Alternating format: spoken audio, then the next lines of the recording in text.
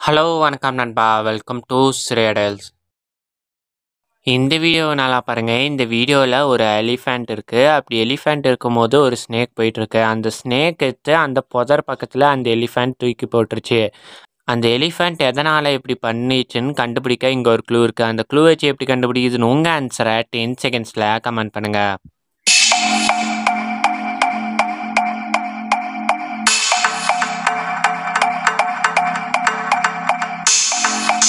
அந்த எலிஃபண்ட் எதனால் ஸ்னேக்கை தூக்கி போட்டுச்சுன்னா அந்த புதரில் பார்த்தா தெரியும் லைட்டாக துப்பாக்கி தெரியுது.